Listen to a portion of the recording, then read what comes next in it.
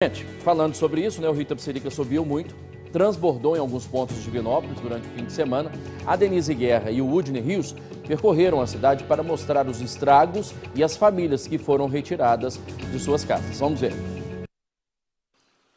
Com 1,13m acima do nível normal, o rio Itapecerica, em Divinópolis, transbordou em alguns pontos. Aqui no bairro Porto Velho, este trecho da Avenida Coronel Jovelino Rabelo, com Rua Prudente de Moraes, ficou totalmente intransitável e a água chegou até as casas. O rio Itapecerica passa a cerca de 50 metros desta casa e a água já chegou por aqui. A garagem está toda alagada e os moradores já se preparam para deixar o imóvel. Eles contaram que em 2012 a água atingiu 2 metros de altura aqui.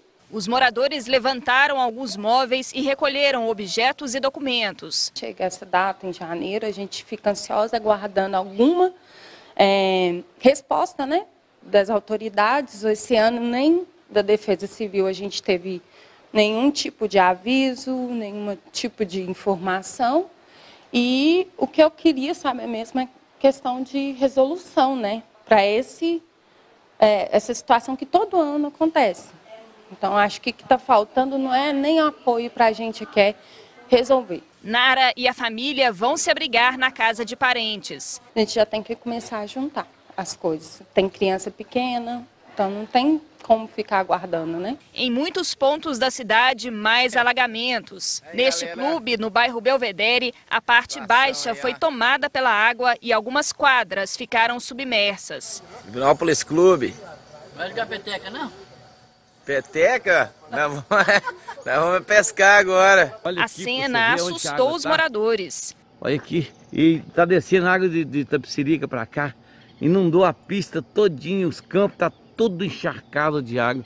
Meu Deus do céu. Parte da região dos shoppings também ficou alagada e algumas ruas foram interditadas pela Secretaria Municipal de Trânsito.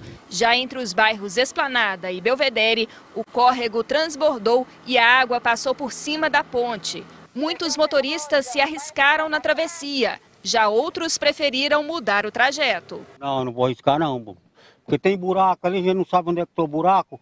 A roda cai dentro de um buraco ali, o carro fica agarrado ali. Aí depois tem que chamar máquina, chamar outro carro para arrastar.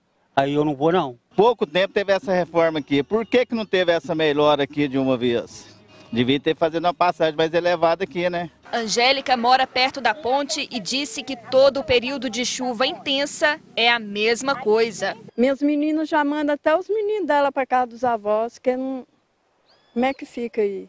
Eles arrumaram, né, aqui, mas não está adiantando nada. Nos trechos que foram que são possíveis, como alargamento do córrego, ser feita a parte pluvial, nós estamos estudando para fazer. Nós ainda estamos com algumas partes, principalmente em córrego, que é cerca de 2 milhões uma obra para poder fazer com que não aconteça mais isso, que não tenha mais é, nenhum tipo de invasão da água. Mas devido ao valor, o custo ser muito alto, em alguns pontos fica praticamente impossível ser feito com recurso do município. A força da água está tão grande na ponte do bairro Niterói que muitos moradores foram olhar de perto a situação. Nós estamos na situação que o leito está acima do leito cerca de um é, metro e dez. O ponto que a gente realmente tem uma preocupação muito grande é 1,20. Então nós estamos no limite aí para a gente poder monitorar muito de perto as áreas alagáveis aí que correm risco de inundação. Infelizmente, nós já tivemos algumas moradores, algumas casas que já tivemos de retirar os moradores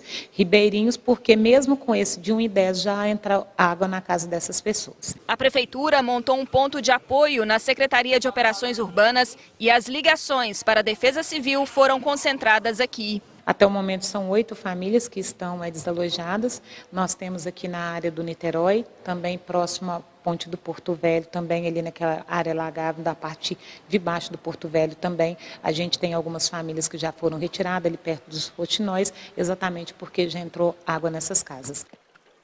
Bom, a medição feita hoje de manhã apontou que o rio Itapecerica em Divinópolis baixou um pouco, hein? Ele está 1 metro e 5 centímetros acima do nível normal.